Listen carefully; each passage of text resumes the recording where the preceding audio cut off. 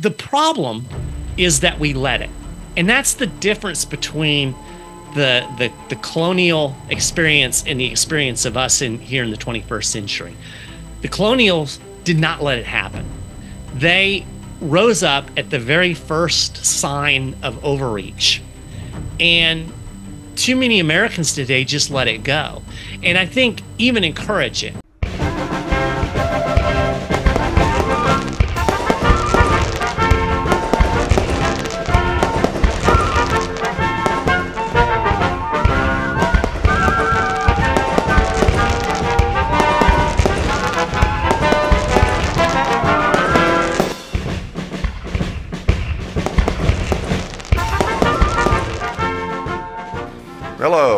The Tennessee Informer. I'm your host, Dave Vance. Welcome to our 4th of July special. Our special guest today is none other than Mike Maharrey from the 10th Amendment Center. Mike is the communications director and is from the original home of the Principles 98, Kentucky. He currently resides in Central Florida and is the author of the books Our Last Hope, Rediscovering the Lost Path to Liberty, and the Constitution Owner's Manual. He has a blog at the 10th Amendment Center as well, and you can visit his personal website at michaelmaharrey.com and like him on Facebook. Thank you for joining us today. How are you doing?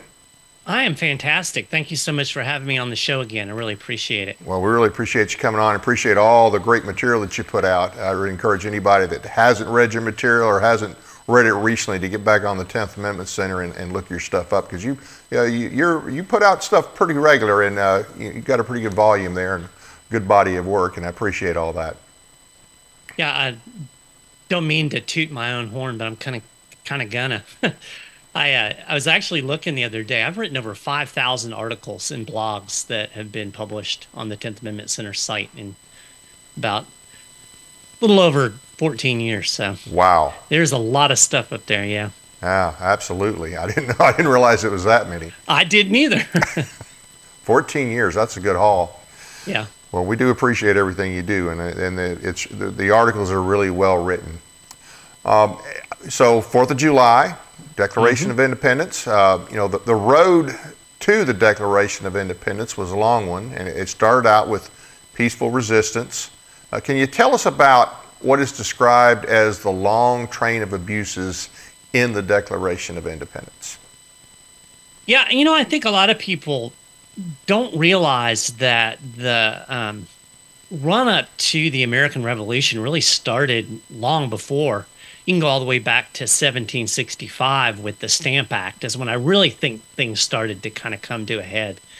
And you know, if you if you read the Declaration of Independence, I don't think a lot of people go much past the well-known preamble. You know uh, that we have, uh, you know, God-given rights and that we have the right to abolish our government. People are very familiar with that.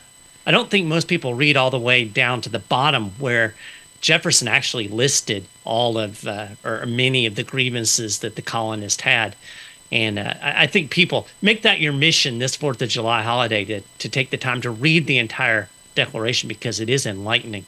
But I think you can really boil it down to this: it was, in a sense, a constitutional crisis. And I don't think it's framed that way very often in government schools these days.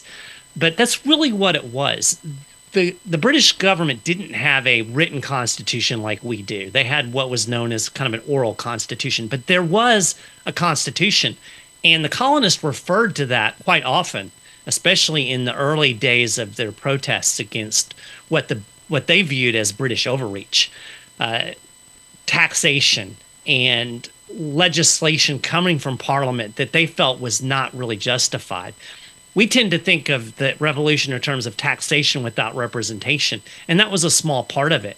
But what was more, I think, oppressive feeling to the colonists was this idea that Parliament could uh, legislate in all manners whatsoever, as the as the Parliament put it uh, after they repealed the Stamp Act. So that's really the crux of the matter.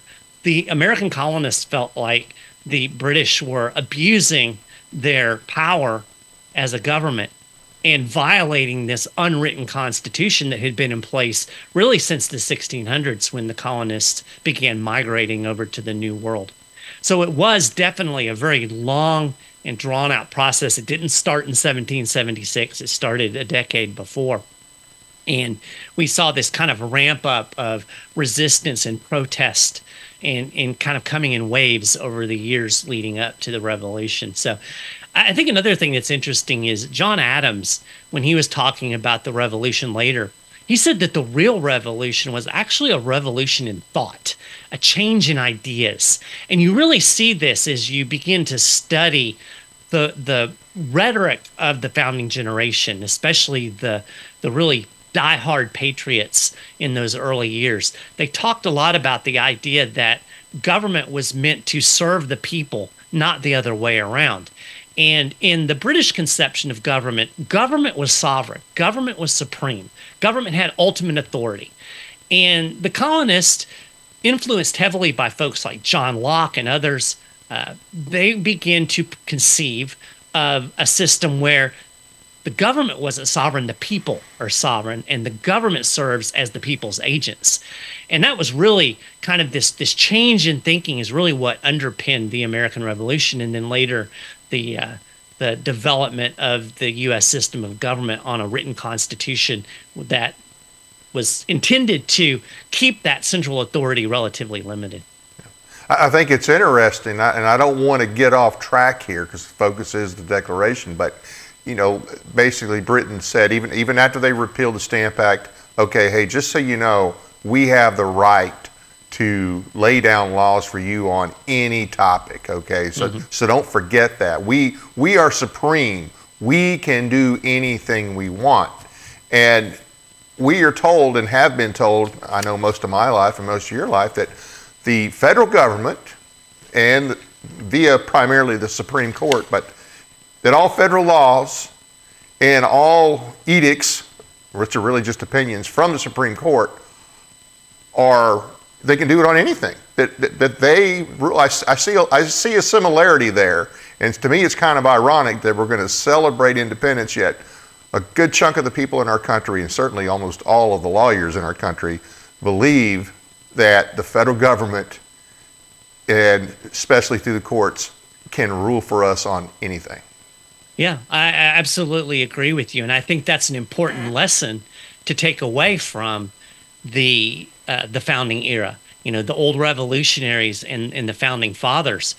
That was their gripe. And we've almost reverted back to that very same system. Not with the courts. I mean, not just with the courts. Certainly, the courts are are probably the biggest part of it. But you know, even looking at the way presidents operate today, you know, you you remember uh, Obama, and you know, I've got my pen in my phone, and uh, you know, he said that, so it makes for a great quote. But I mean, you know, Trump operated on the same premise. Biden operates on the same premise. Right. Bush before him operated on the same premise. Yeah. So so we've really reverted, I think, in a lot of ways. And and I think that's a good thing for folks to reflect on as we have this Independence Day holiday is to kind of look back on, hey, this is what our our founding generation fought and died for.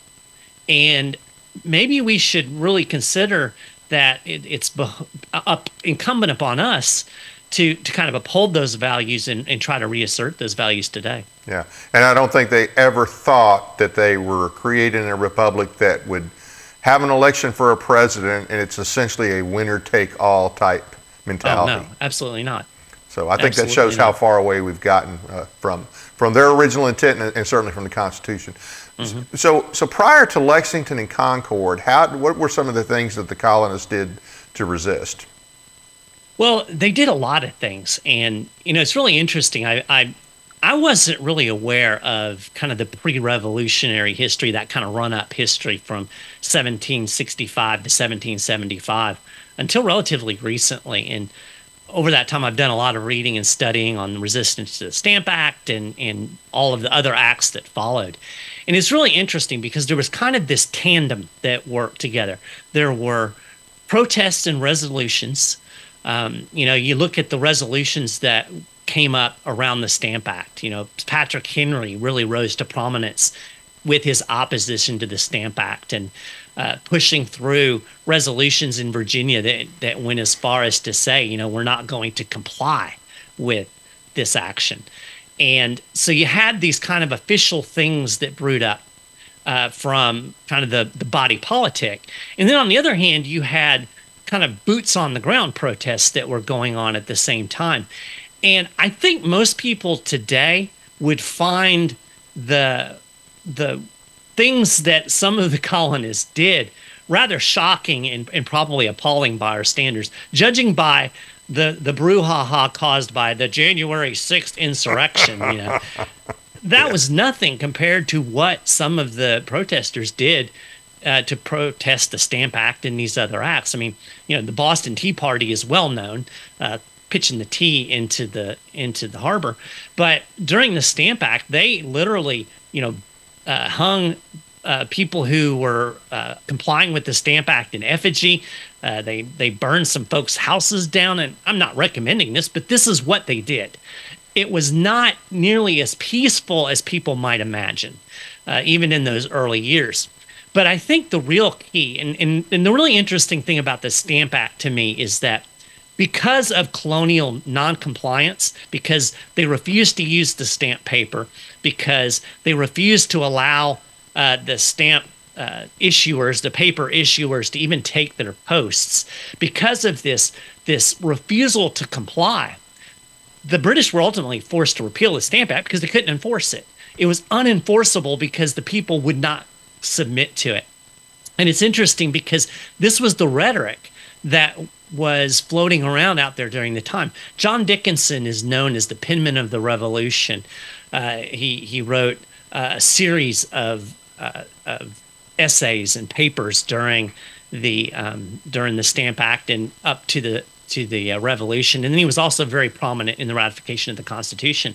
And John Dickinson warned, writing in opposition to the Stamp Act, he said, if you simply comply, you unnecessarily, voluntarily establish the detestable precedent which those who have forged your fetters ardently wish for.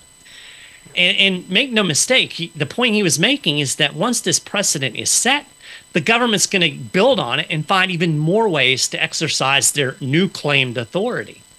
And, uh, you know, he went on and he wrote If you quietly bend your necks to that yoke, you prove yourselves ready to receive any bondage to which your lords and masters shall please to subject you. Thank so this COVID. was the kind of yeah, exactly. exactly. So this was the kind of rhetoric. And I think there's a lesson in that for us that noncompliance, when the government steps over the line, noncompliance is a legitimate and justifiable reaction to that. And you know, it, it, can be done in a nonviolent way, simply by just refusing to do it. You know, if if uh, you, have got a vaccine mandate, don't get vaccinated. If uh, you know, if the government comes along and tells you, oh, you have to turn in X, Y, Z firearm, don't do it. Uh, I wrote an article not too long ago, and this is this is kind of getting way off the subject, but I think it's it fits into the theme that we're discussing here. In the 1930s, uh, President Franklin D. Roosevelt issued what was known as a gold confiscation order. Yep. And, you know, I'm not going to delve into the background. You can find that on 10th Amendment Center website if you're interested.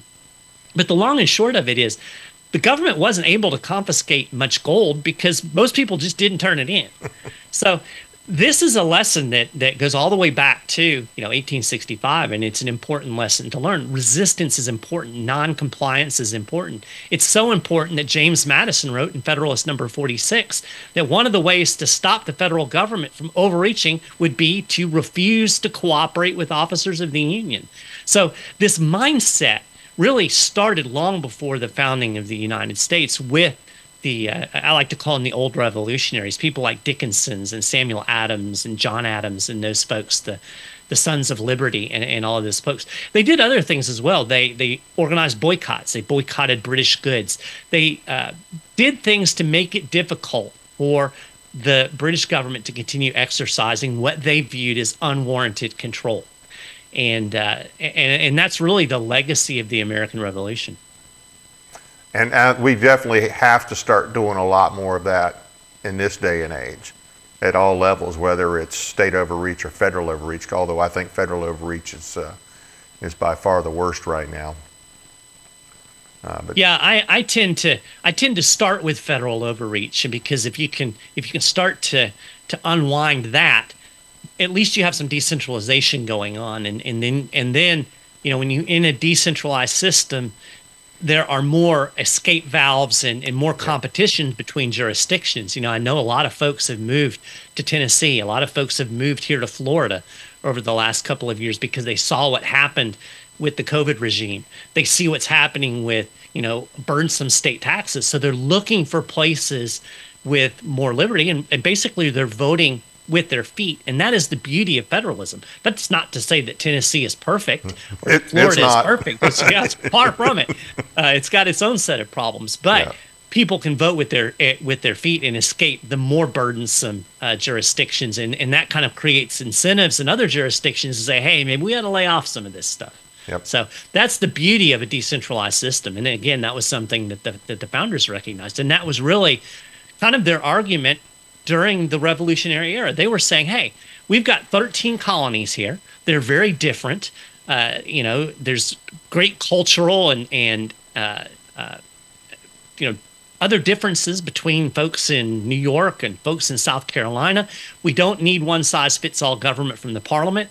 We have had the right all of these years to basically self govern for our own legislatures, our own bodies to to tax us and, and make the laws that that fit in with you know our local jurisdiction they resented parliament because it was this overreaching centralizing hand that was trying to you know come from afar across the ocean and you know if you think about it somebody in in uh, arizona i mean washington d.c might as well be as, across the ocean so there's a lot of parallels there Oh yeah, yeah. Um, and it, it seems that you mentioned the, the decentralization. Those that that talk of, of our country as okay, you know, the federal government gets to control everything. Well, number one, they don't. It's it's not really written that way. It's often interpreted that way, but that's not even true today. It's just like you said, people leave the more oppressive states, come to states that they think are less oppressive. Uh, they come to Tennessee, and a lot of times they're disappointed. They're shocked and surprised that this is going on in Tennessee. But Right. hey, it's still better than New York. It's still better than California. And the thing is, you have somewhere to go. When you have a top down system that, you know, if everything is uniform, if there is no variance, then you've got, you got nowhere to go, nowhere to, nowhere to escape to, nowhere to hide. And, and so I think people need to make, you know, be thankful for that. That's another thing to be thankful for. Uh, and to use some of the ideas from the founding generation. I, I think that I think I know a lot of them are a little harder, but not all of them. A lot of them would still transfer to today in terms of what we could do, whether yeah it's absolutely boycotts or resisting. You know, we know it's an election year, so I'm sure they're going to have some sort of disease out there. Uh, you know, some sort of lockdown. I'm sure between now and November. I wouldn't be at all shocked. And you know, the the whole idea of federalism is is really again, it's rooted in the American Revolution. You look at the Declaration of Independence. Each state ultimately declared independence independently, right? If if a if a if a, one of the colonies had decided, hey, we don't want to uh, declare independence, they they weren't obligated to, right? Right. And when you look at the end of the revolution, when the British finally capitulated, and you go to the Treaty of Paris, which Yep. was the the end, the British government recognized 13 sovereign independent states. It wasn't one big glob. Right. Right. It was never one big glob. It wasn't one big glob when when it was colonial. It wasn't one big glob during the revolution. It wasn't one big glob when they uh, ratified the Articles of Confederation, and it still wasn't one big glob when they ratified the Constitution. It was a union of sovereign states that delegated specific powers to the federal government and retained most of the power for themselves. And that was the colonial system. That's what they were fighting Britain over because the British had allowed that system to exist for so many years and then all of a sudden decided well we need some more revenue. So so we're going to we're to crack down on these colonies. And uh, it didn't work out so well for the British in the in the long run. Yeah, follow the money. Uh, you know, it, as, as I've, I've done a little bit of reading on this, and I, I think they always had some taxes from uh, Britain, but they were kind of blown off and they weren't really enforced. Right And then after the French and Indian War, you know, Britain was hurting, and that's when they kind of put the hammer down, and that's that was the start of the problems. right Uh, but it just And- got and worse think- from there.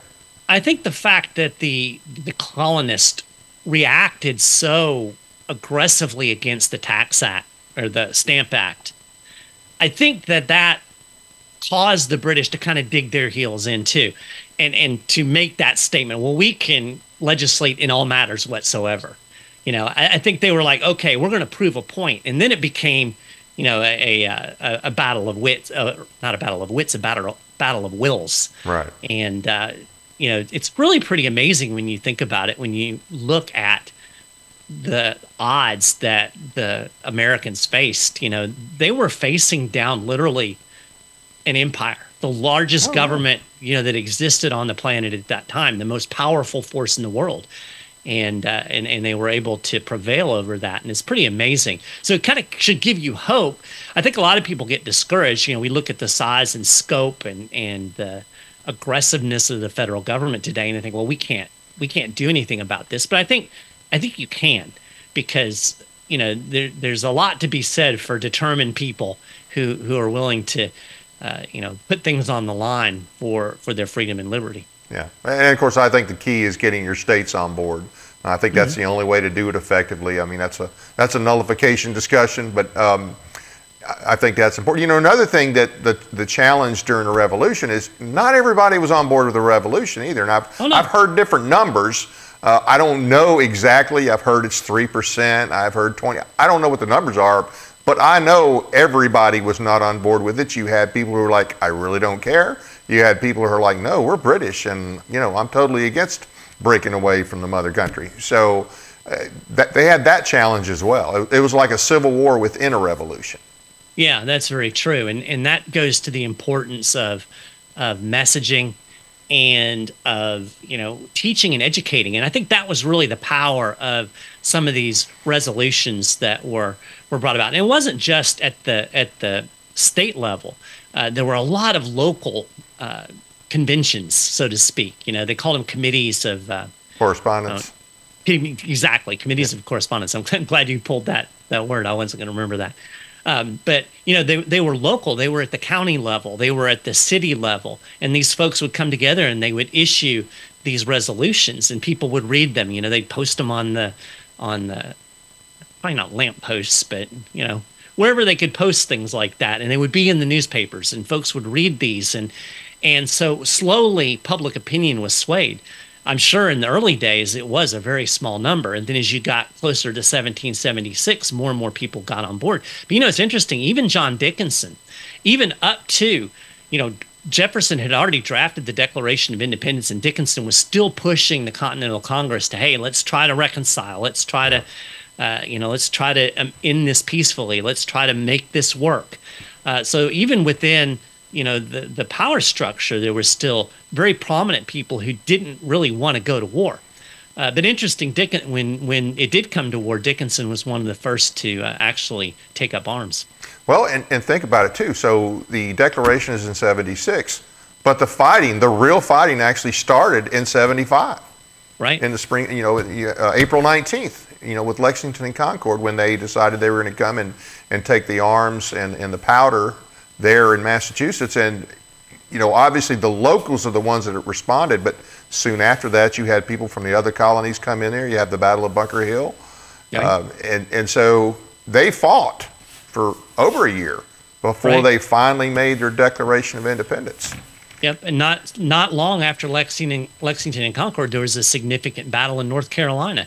It's often uh, been called the the North or the uh, Lexington and Concord of the South uh, in, in, kind of a similar situation where uh, a couple of militias did some sparring, and, and North Carolina was actually one of the first states to uh, to actually declare independence. A number of states had already effectively declared independence before the Declaration of Independence was was drafted and ratified.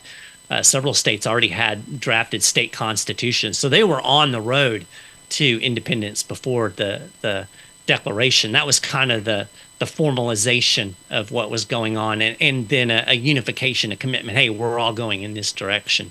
Right, right. And, and they thought, of course, that uh, when it was actually written on July the 2nd. They thought July 2nd, I think Adams and, I think it was Adams and uh, Jefferson, Yeah. thought that July 2nd would be a date remembered, but it, it, I guess it got finalized on the 4th, so that's what we remember and that's what we uh, Right. celebrate. Um, so, let me get, okay. All right, so how did, how did these experiences of the revolution, you know, pre-revolution and during the, re- how did those things affect the creation of our Constitution? That's a great question. So I think the biggest thing is it kind of goes back to what Adam said about this this revolution of ideas. That there was a fundamental shift in thinking where the government was no longer the sovereign.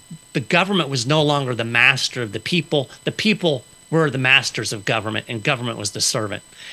There was this idea that was developed throughout the uh, the pre-revolutionary years and then it continued to grow during the American Revolution that government should be of the people, by the people, and for the people. It's this whole idea of agency.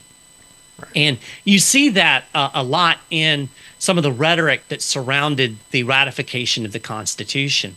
Uh, for instance, John Jay, he said the Constitution only serves to point out that part of the people's business which they think proper by it to refer to the management of the persons therein designated. So you see this this kind of agency relationship. We have an agent, which is the the the worker, and then the people that it serves. Uh, Patrick Henry put it this way. He said the governing persons are the servants of the people. And of course, we know that no servant is greater than the master. So that means that the people are in charge. We have final authority. So that really, I think, is is kind of foundational in the Constitution. And you see it in the fact that they specifically delegated powers to the federal government. And they said, you can do these things, and all of these other things you cannot do. So you, you see this this whole idea of agency in the very structure of the Constitution itself. The fact that there was a written Constitution was really a uh, a response to the way things unfolded with the uh, with the British and the colonists. There was an unwritten Constitution, and it made it very difficult to kind of refer to it because the Parliament would just claim, well, we are the Constitution, so whatever we say goes. And so this idea that the Constitution should be written down, that that the uh, the power should be specifically delegated, explicit, so that there's no question. They hoped that there would be no question. We write this down. We say you can do this list of things, that it would be self-evident that all of the other things were off limits. Now, as it turns out, uh, I think they underestimated the the the power of government and the tendency to overgrow. And and and to be fair, many people in that founding generation warned us. Uh, George Mason Yep. spoke very strongly. Uh, he was an anti-federalist. He did not uh, support the ratification of the Constitution. And he warned about this propensity of power, that power tends to grow, that once people get power, they tend to want more power, and that you can't trust people with power. So that's why he was so emphatic about a Bill of Rights, because he felt like that that we need to put every precaution in place that we can because of this this tendency of power to grow. But certainly, uh, it it was a uh, a very strong impetus to delineate and mark out the the uh, the powers of the government, and that was a direct result of the experience with the British. And you also see it in in specific, uh, you know, ways that the Constitution is set up. For instance, compared to a king, the president is very limited. You know, the president Right. is only supposed to be an executive to put laws into effect and to run the executive offices that, that kind of make things tick. The president has no legislative authority under the Constitution. Again, this was a direct result of the colonist experience with the king, Right. who would make edicts. Uh, unfortunately, today we have presidents who make edicts, and uh, far too many people pay attention to those edicts. Yep. Uh, but so you see it not only in kind of the overriding, underlying principles that support the Constitution, but you also see it in the specific division of powers. You know, uh, delineating the uh, the the differences between the judicial and the legislative and the executive. And then I think maybe one of the most significant is this idea of federalism that is really encapsulated by the 10th Amendment that the federal government only has the powers that are delegated to it, yep. and the states have every other power unless it is specifically prohibited by the Constitution. Again, this goes back to this whole idea that Parliament was, you know, supreme and we're going to tell you what to do and we can uh, legislate in all manners whatsoever, all subjects whatsoever. No, the 10th Amendment makes it very clear. You, federal government, have a very limited scope of powers. And again, uh, that has kind of gone by the wayside. And, yep. you know, the problem is that we let it. And that's the difference between the, the, the colonial experience and the experience of us in here in the 21st century. The colonials did not let it happen. They rose up at the very first sign of overreach. And too many Americans today just let it go.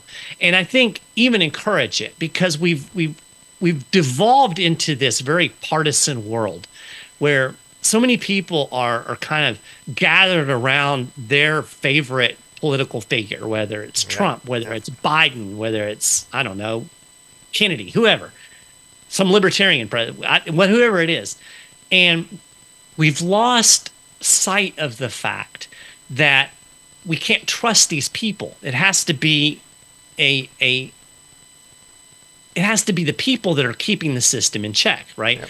Uh, just as as they said. So when we see this drift away, it's really our fault. And in this hyper partisan world, I think when you know their guy is in control. So, so if you're you know right now Democrats are like, well, let Biden do whatever he wants because Biden is great and and Biden's going to make things great. And then uh, sadly, I saw some of the same things when Trump was in office that we're going to let him get away with stuff because he's our guy. Yeah. Well, you can't do that. Your fidelity has to be to the Constitution first, yeah. the Constitution and the rule of law. And you know, I'm not saying you shouldn't support one candidate or one candidate's not better than another, but I'm saying that you shouldn't you should hold your candidate.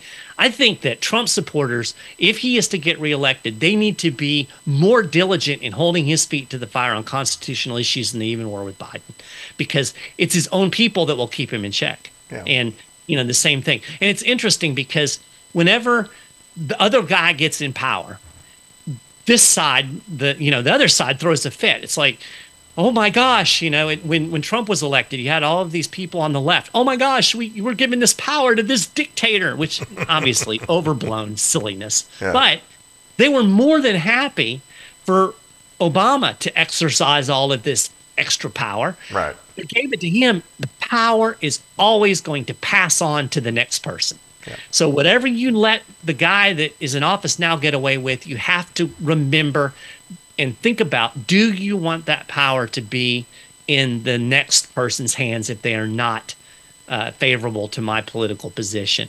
I, have I've heard it, it's kind of told as a joke, but it, it kind of brings it home. It's like, you have to think about, you know, would you want to give this power to your ex-wife? you know, that's kind of what you're doing.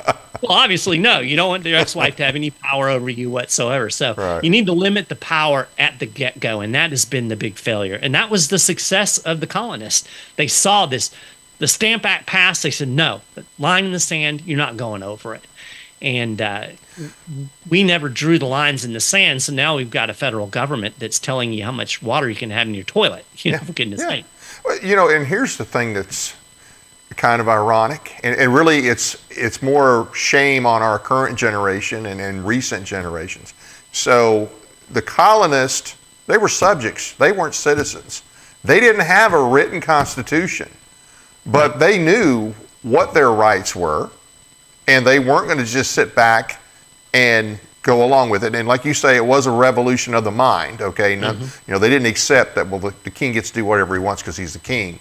And so before then, we were subjects. Well, now we're citizens. We have a written constitution. Okay, it, it, it, it's it's all written out, and we just allow them to do so many things that they're clearly not allowed to do. I, you know, so many people think that the way our government is structured is federal, state, local and right. that's that's you know it's not accurate.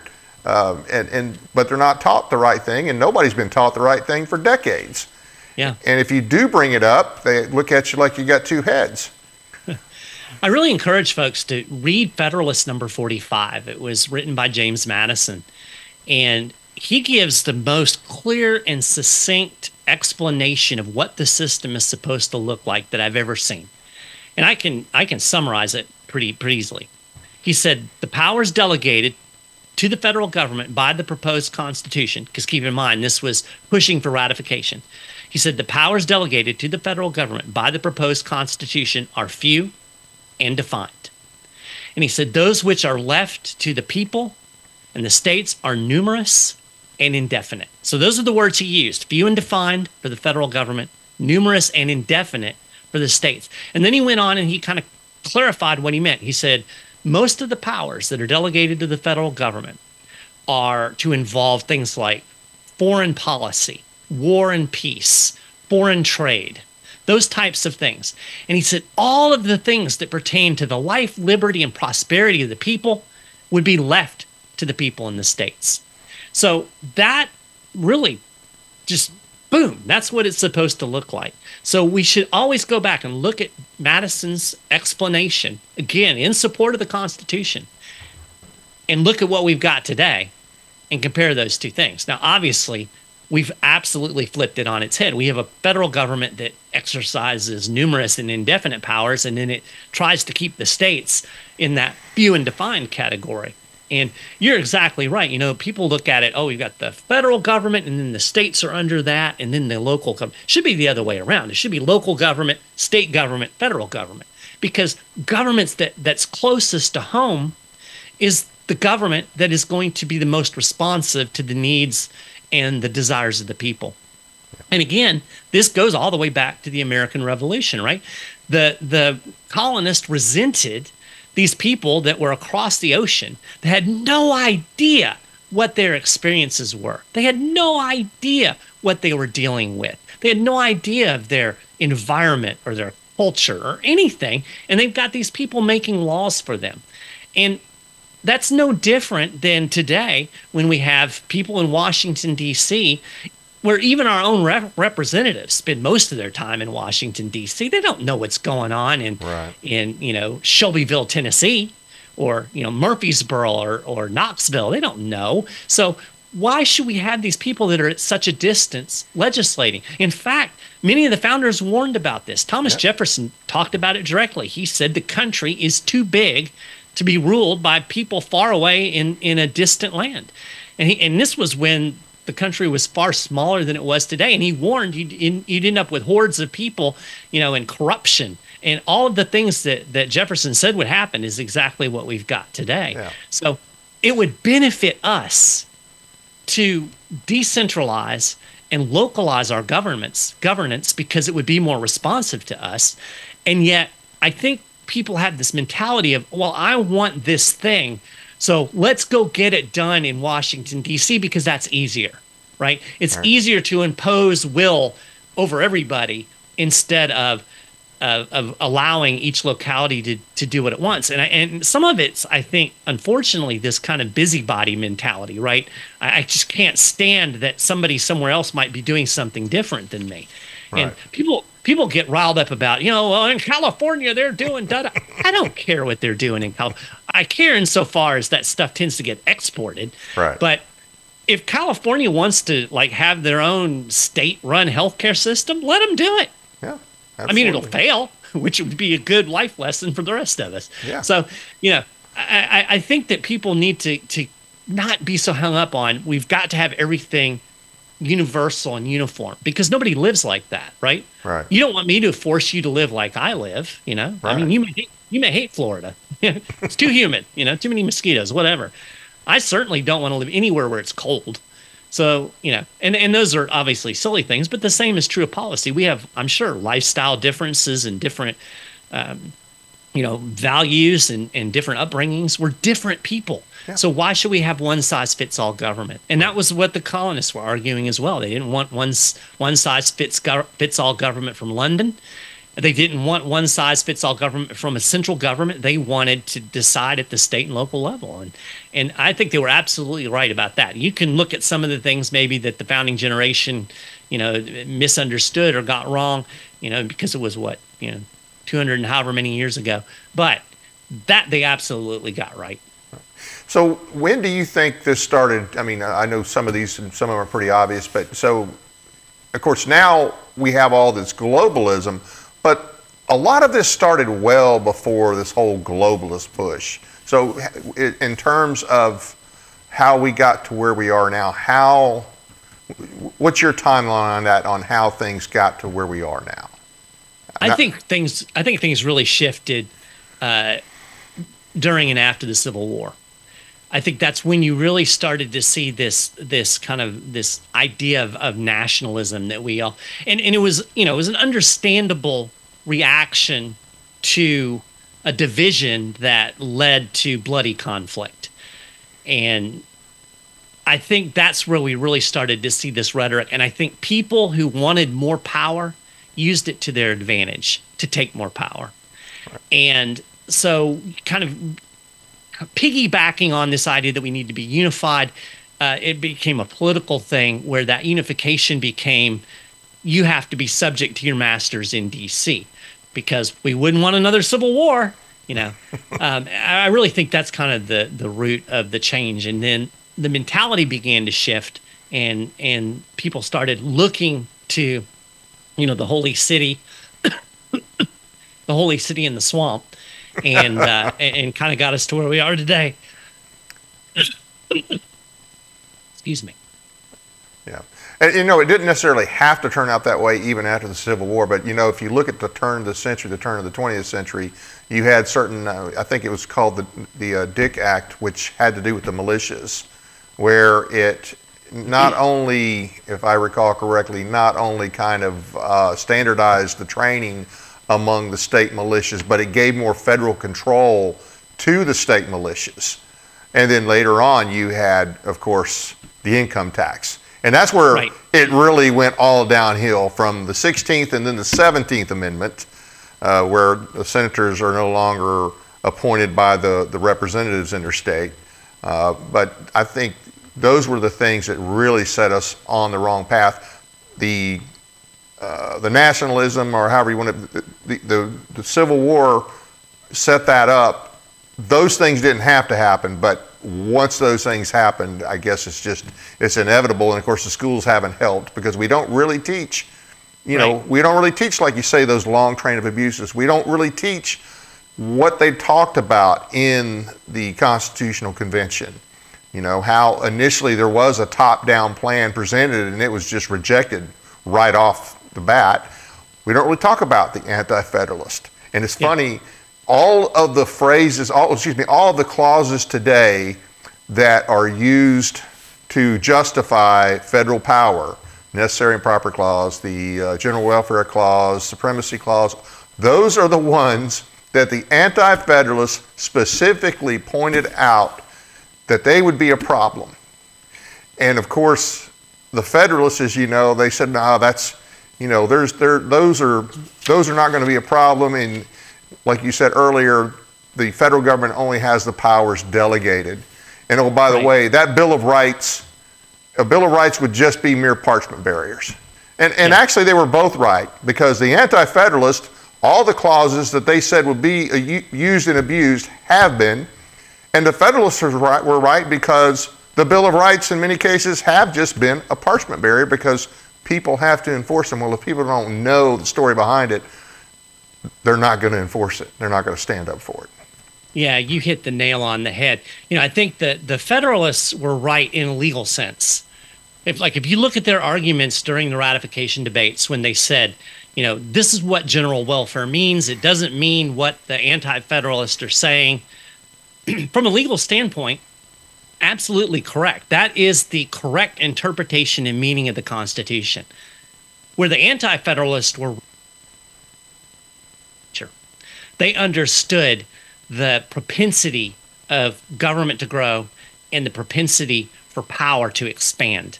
And when you read some of the stuff that they said, they, they were, I mean, prophetic is not too strong of a word. Absolutely. Um, and so, you know, they, you're right. They were both right. And I think you make a very good point about the uh, the the income tax, the the way they changed the makeup of the Senate And then that set the stage for the 1930s, FDR, the New Deal, which really entrenched the welfare state and the administrative state. So you kind of had these these lurches forward uh, in terms of consolidation and uh, expansion of federal power. Consolidation, it's interesting because that was a word that was thrown around a lot during the ratification debates. And it was the greatest fear. Nobody wanted what they called consolidation. And consolidation really just means all power being centralized into one general government. and the Anti Federalists warned over and over again that the consolidation of the government was going to be the result of the Constitution. And the, the Federalists were like, no, no, that's not going to happen. We don't want consolidation either, but we've put things in place to prevent that. We've got these limits on federal power and everything's going to be okay. The problem is is just as you said, it's a parchment barrier. You can't expect a piece of paper to limit a government. Ultimately, it comes back to it's up to the people. The British government wasn't going to be limited by rhetoric. It required the colonists to stand up and draw a line in the sand and say no. And it's the same today some things don't change. The nature of power don't doesn't change, and so really the failure of the Constitution, if if there has been a failure, and a lot of people will say there is, the failure of the Constitution has been not in the Constitution itself, but in the people's unwillingness to enforce it, and that ultimately is the responsibility of the people. You know, they, they I've heard it said you get the government that you ultimately want. And sadly, I think that's true in a lot of cases. I think a lot of people like big, overreaching government because they feel like we can control this and we can get stuff done. Yeah. But the lesson is always that you're not going to always control it. And your enemy is going to have that power. It's going to have those levers in its hand at some point, And at that point, you're going to be in trouble. So you're better off just to limit it as much as you can, stand up and say no whenever it overreaches those bounds. Absolutely. So, how do the uh, abuses during the revolution or prior to the revolution, how do they compare to what we experienced at the hands of the federal government today? Well, a lot of them are the same. Again, I really encourage people to take that time during this Fourth of July holiday to read those those complaints that are listed out in the Declaration of Independence. Um, you know, one of the things that I thought was interesting is that uh, it said, and he is the king in this sentence. He, the king, has dissolved representative houses repeatedly for opposing with many firmness his invasion of the rights of the people.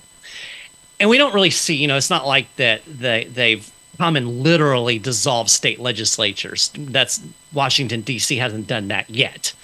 But they do basically just using the courts and and using uh, executive orders, they do override states all the time and effectively basically just dissolve you know the things that the states have done with within their own prerogative and rights. So you know maybe not quite a literal uh, interpretation of that but certainly figuratively the uh, the government's done that.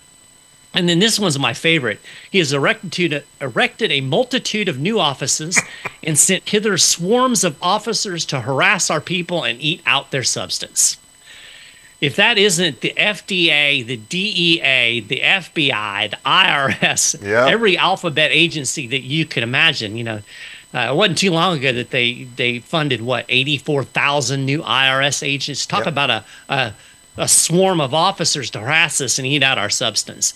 Uh, I, I think that that is the most poignant of of all of the of the complaints. But you, if you go read the list, and I really again encourage people to do it, you'll see that there are a lot of parallels, and you're going to kind of go, "Ugh, you know, what, what exactly did we fight this Revolutionary War for?" We ended up with uh, kind of the same thing in a lot of ways. Yeah, yeah.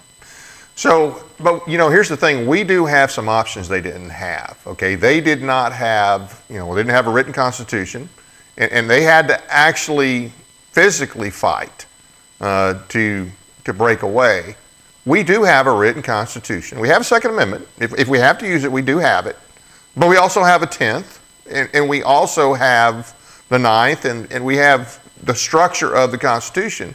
If enough of us understand it, and if we can change that mindset of federal here, state does what the federal says, counties do what. I mean, that's we got to do away with that somehow. We got it, it's it's not a matter of we don't need to change anything in the Constitution.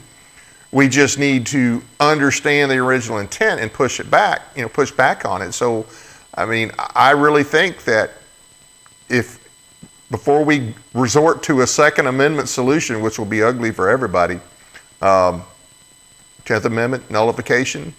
I I think that is the way to go. Uh, and I Absolutely. think the sooner the better.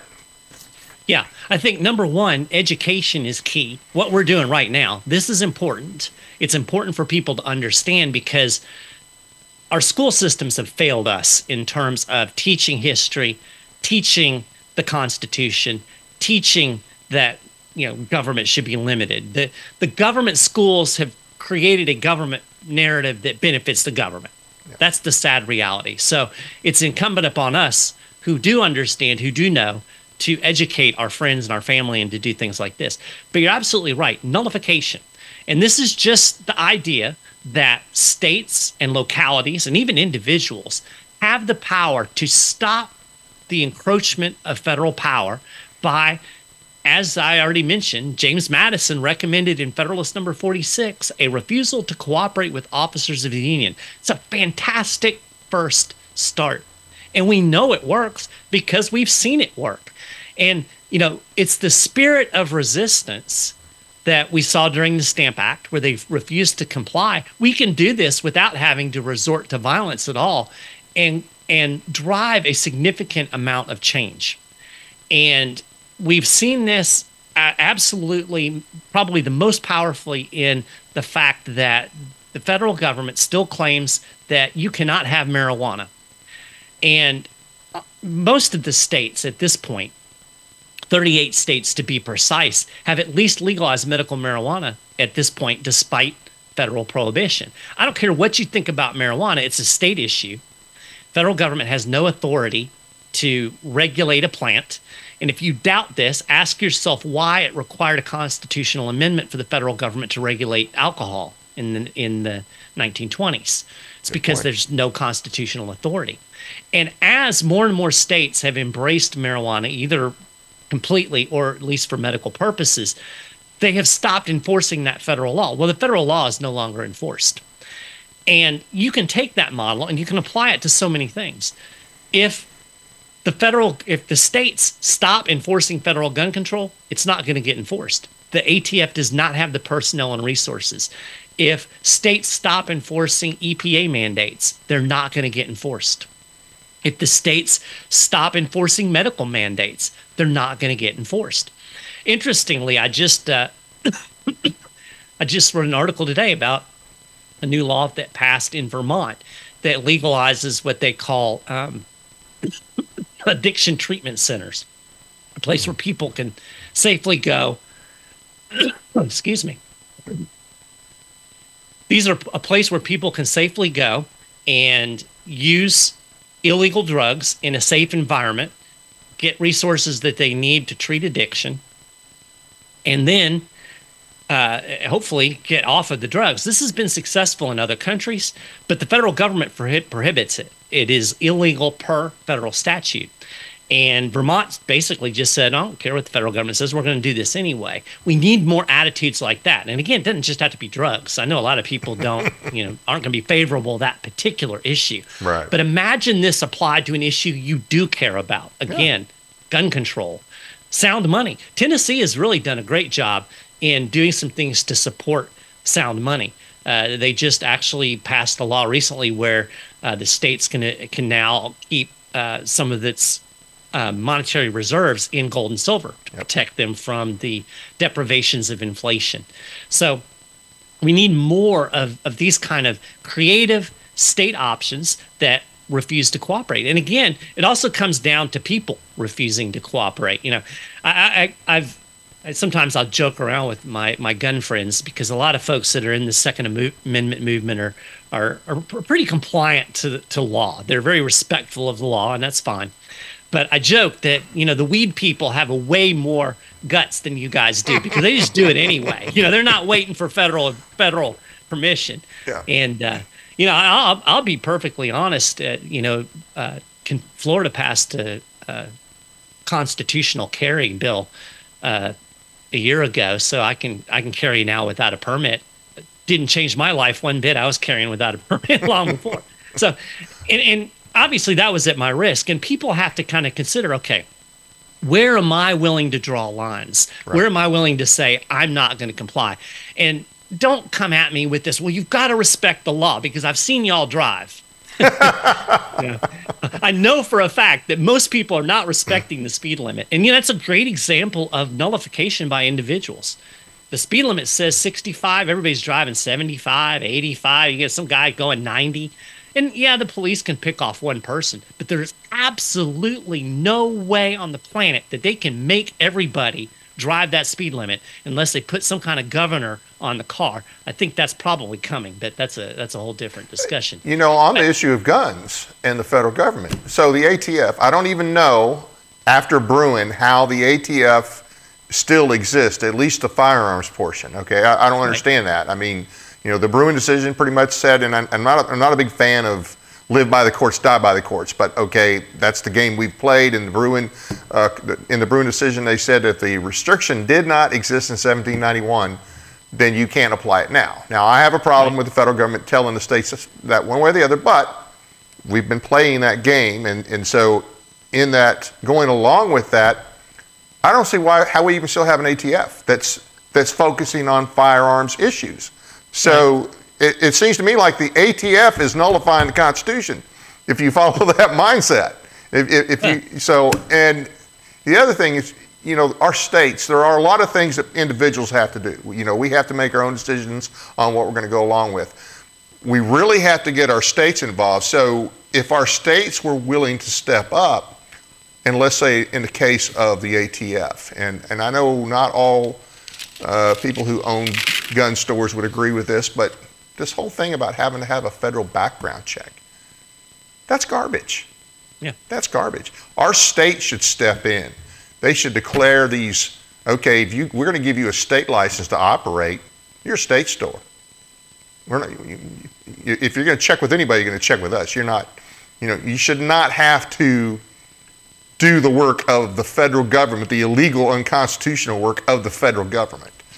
Uh, so, but bottom line is, in a lot of these things, we'll have as much federal tyranny as our states will comply with. And exactly. so, unfortunately, all of our states, the very are way too complicit with the garbage coming out of D.C. And so I, I think that's an area we had to put focus on. We have to start looking, okay, you know, a lot of them talk a good game, but then you look and see what they're actually pushing. So they may be suing the federal government on an issue, and at the same time, they're still promoting that program. Right. You get a lot of that.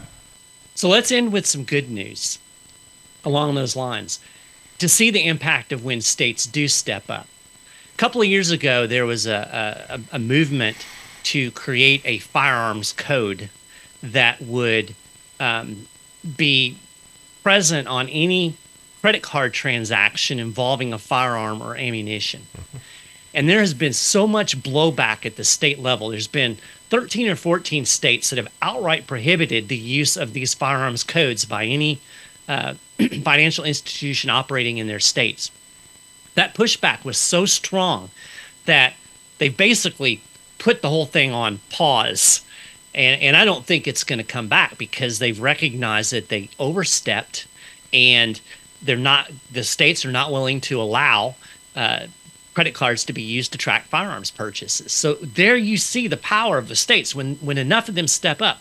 Another place where I, I see this happening is there's a lot of states now that are pushing back against the whole idea of a central bank digital currency, yep. which would be a, a digital currency issued by the um, the Federal Reserve, it's hard to believe, but it would be actually worse than the fiat currency that they're issuing today. We create a mechanism where where the government could literally track all of your transactions, you know, from buying a cup of coffee to buying a rifle. And again, we've seen a number of states that have stepped up and, and have looked for creative ways to block the implementation and the the effectiveness of a CBD, CBDC within within the state. So that just goes to show that that when there's enough number one, public pressure on state representatives to do the right thing, they'll get the right thing done in a lot of cases. And it's a very powerful, it can affect change. You know, and again, everything from from weed to guns, this can be effectively used. And uh, I love putting those two issues together because it kind of brings together a, a very di- diverse and divergent group of people. But the good news is the states do have significant power. Even playing within the Supreme Court game, as, as you mentioned, the federal government has held consistently since 1842 that the states cannot be compelled to enforce a federal law or implement a federal program. Yeah. They don't have to do it. So if they don't have to do it, they should stop doing it. And when they stop doing it, a lot of this stuff's not going to get enforced anymore. So we do have power and we have seen it work and we know it can work. We just need more people to focus their attention and efforts at these state levels and pay more attention to what's going on at the state legislature. We get so wrapped up in, you know, the presidential election and Congress and all of that stuff and I'm not saying don't pay attention to that at all, but I am saying you need to pay just as much attention to what's going on uh, in Nashville or Tallahassee or Indianapolis or Atlanta as you do to Washington, D.C., because those folks in those state legislatures have a great deal of power and they are much more subject to public pressure than your congressman or your senator. Yeah, we'll never fix D.C. by, by conventional means or by voting. Uh, it, it'll have to be fixed by the states putting them back in check, and that's only going to happen if we force our states to do that. Hey, thank you for coming on. Thank you for all you do, and I love to have you back sometime. And there's information up here. You're on the 10th Amendment Center, and uh, so I just want to I want to thank you again. I hope you have a, a great Fourth of July, and hope you're around to write another. Uh, was it 14,000 articles or no 5,000 articles? Five, there was 5,000 articles in, in 14 years. So hopefully we'll get another 5,000 articles out of you. All right. Well, we'll we'll do our best. we'll keep plugging along at any rate. All right. Well, I do really appreciate you. Thank you very much.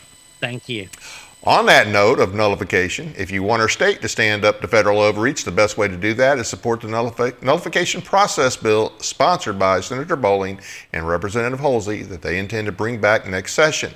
Visit tncss.weebly.com slash call to action, sign the petition, and follow the instructions on the link.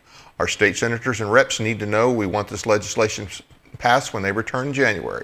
Now is also the time to get candidates for state office on record as well. D.C. will never fix D.C., only the states can fix D.C., and we have to demand that our states stand up to D.C. and uphold their oath to the U.S. and Tennessee Constitution. I want to thank you all for taking the time to watch our program tonight. Please be sure to hit the like and subscribe button, as well as the notification bell so that you never miss a show. Tennessee Informer is available to listen as an audio podcast on iHeartRadio, Spotify, Spreaker, and other popular podcast platforms. You can find them on our website, tninformer.com. And while you're there, please take a moment to sign up for our newsletter. Stay up to date. We really need more people to sign up for this weekly newsletter. We would greatly appreciate that. It doesn't cost you anything. The subscriptions to Tennessee Informer don't cost you anything. You can follow us on Facebook and Twitter as well.